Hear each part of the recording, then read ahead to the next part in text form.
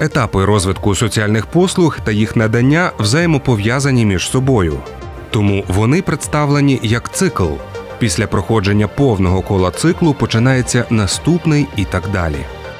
Початковий етап є одним із найважливіших. Необхідно визначити потреби мешканців та мешканок територіальної громади, а відтак і соціальні послуги, які здатні їх покрити. На цьому етапі спеціально створена для проведення оцінки потреб робоча група збирає і аналізує кількісні та якісні дані про наявні в громаді вразливі групи населення, а також осіб і сімей, які перебувають у складних життєвих обставинах. На основі аналізу зібраних даних визначаються потреби у соціальних послугах, аналізуються наявні ресурси для надання соціальних послуг, і також плануються заходи щодо розвитку пріоритетних для громади послуг. Важливо, що саме цей етап має передувати усім іншим, оскільки він є основним для прийняття рішень про розвиток послуг, у яких є потреба. На другому етапі необхідно здійснити планування розвитку соціальних послуг та їх надання. Це відбувається шляхом розробки або перегляду прогнозних і програмних документів економічного і соціального розвитку громади.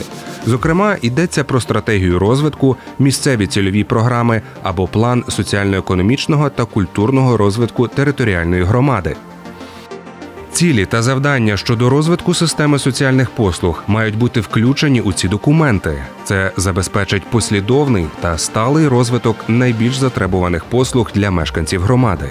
Також не менш важливо, щоб до запланованих завдань були визначені показники їх виконання, чіткі строки та виконавці, і також найголовніше необхідні видатки для їх реалізації.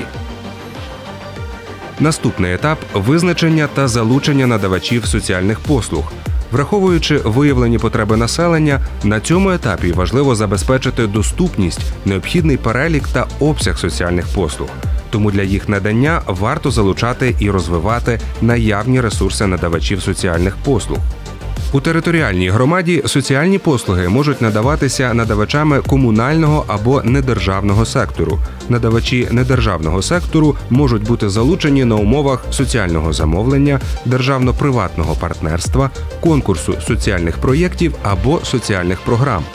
Для прикладу, якщо у територіальній громаді працює надавач соціальних послуг для дітей з інвалідністю, то орган місцевого самоврядування може закупити необхідні види послуг, наприклад, шляхом соціального замовлення.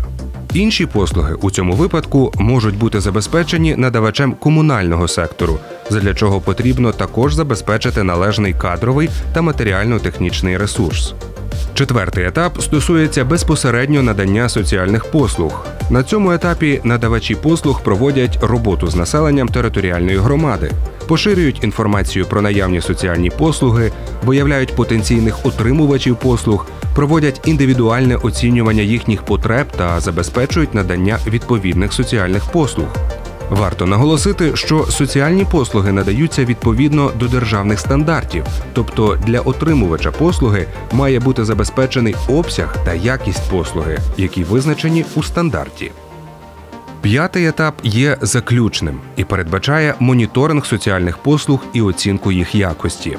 Моніторинг передбачає збір та обробку інформації про надання соціальних послуг.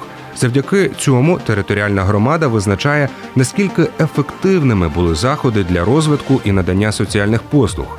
Якщо моніторинг та оцінка якості надання послуг виявить проблемні питання чи нові потреби населення територіальної громади, то орган місцевого самоврядування зобов'язаний їх врахувати у прогнозних та програмних документах економічного і соціального розвитку на короткостроковий період, а також у бюджетному процесі.